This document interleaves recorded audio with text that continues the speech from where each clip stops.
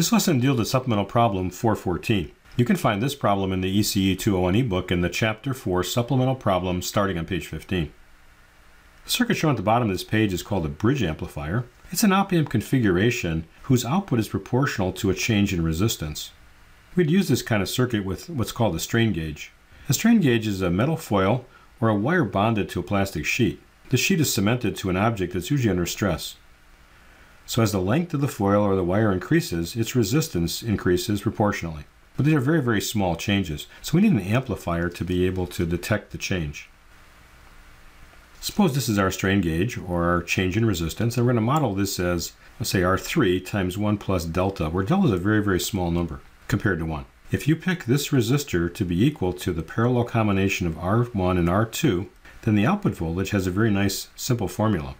It's 1 plus R2 over R1 times the reference voltage here divided by 2 times this change in resistance. So we now have a proportionality with the change in resistance. So we can pick this to be a large enough number so that we could detect the voltage.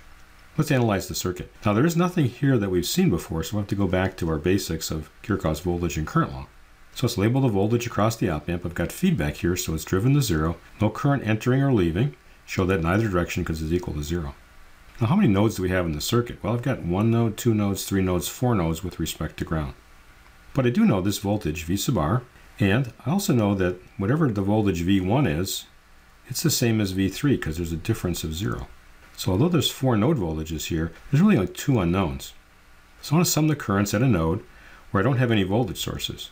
So this node, don't want to do it here because I'll pick up the unknown of the current in this battery. And likewise over here at the op amp, I don't know the current going into or out of the op amp. I can solve for it, but I don't want another unknown. So let's sum the currents at node 1 and at node 3. I let all the currents leave the node here, but that's an arbitrary decision. But once you pick it, just write Kirchhoff's current law is based on that. So the current leaving the node here would be the voltage V1 divided by R1, or times G1. The current in this parallel combination would be node voltage 1 minus node voltage 2, which is equal to V sub R, and then R1 in parallel with R2 would just be the sum of the conductance reciprocal. So dividing by that resistance in parallel would be the same as multiplying by G1 plus G2. And lastly, the current going in this direction is going to be equal to the current that's in this resistor because nothing goes here. So this current is the same as this one. So it's going to be this node voltage V1 minus V0, which is our output, divided by R2 or times G2. I can group all the stuff together here that multiplies V1. That's going to be G1, G1 again, G2, and another G2. All things that multiply V sub r here are G1 plus G2, but there's a minus sign. And likewise, the things that multiply V out, I've got a minus sign, that's just G2. So I have one equation and my two unknowns, V1 and V out. Let's sum the currents at node 3. Again, I let them all leave the node so that their summation would be equal to 0. The current in the resistor R3 would be V3 minus V2, which is V sub r, divided by R3, or times G3. And then the current here would just be V3 minus 0, divided by R3 times 1 plus delta, but you could write 1 over R3 as G3. Here's my second equation and my two unknowns. Uh, G3 is common, so let's cancel that. I've got V3 times 1. I've got V3 times 1 over 1 plus delta. And I've got just minus V sub r. I'll put that on the other side of the equation. So a common denominator here would be 1 plus delta. So I'd have 1 plus delta plus 1, so that'd be 2 plus delta. Now let's put that on the other side of the equation. So I'll make the numerator the denominator and the denominator the numerator the value now of V3 in terms of the reference voltage and the change in resistance. But that's also equal to V1. I go back and substitute this into here. So I got the voltage V sub r times 1 plus delta over 2 plus delta. And that's going to multiply 2G1 plus 2G2. So here's that term. And then I've got minus V sub r. So here's my V sub r in front. And I've got G1 plus G2. And then I've got V out times G2. I'll put that on the other side of the equation. Let's divide by G2.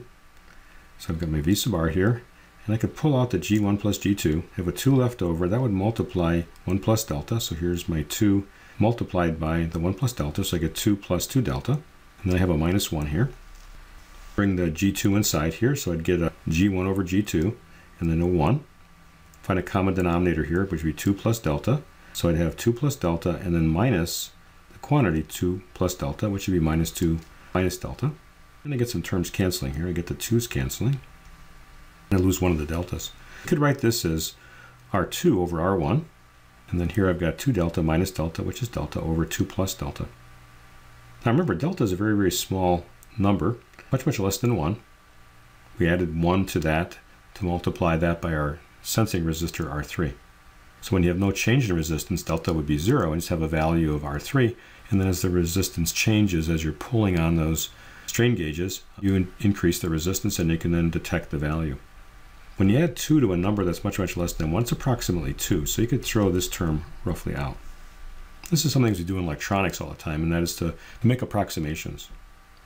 So then I have 1 plus R2 over R1 times V sub R over 2 times delta. And that was the equation we had on the previous page. And this is supplemental problem 414.